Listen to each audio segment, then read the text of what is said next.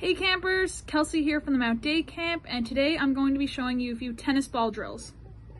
So first you're gonna head on outside, make sure there's a bit of room around you, and you're gonna put the racket in your dominant hand. So if you're right-handed, put the racket in your right hand. If you're left-handed, put the racket in your left hand. And then the ball in the opposite hand. So today we're gonna work on ball control. So first we're gonna start off by just hitting the ball off the racket to the ground and into our hand, just like this.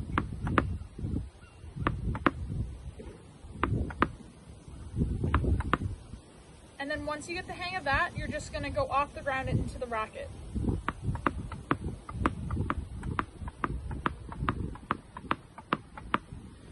So once you get the hang of those two drills, we're gonna work on ball control in the air.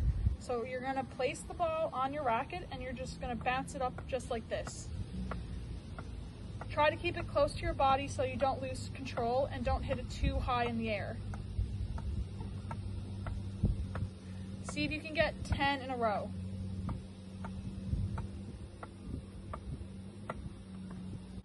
So now for a little challenge, you're gonna do the same thing as the last drill, but between each bounce, you're gonna flip your racket. So something like this. And then just see how many you can get in a row.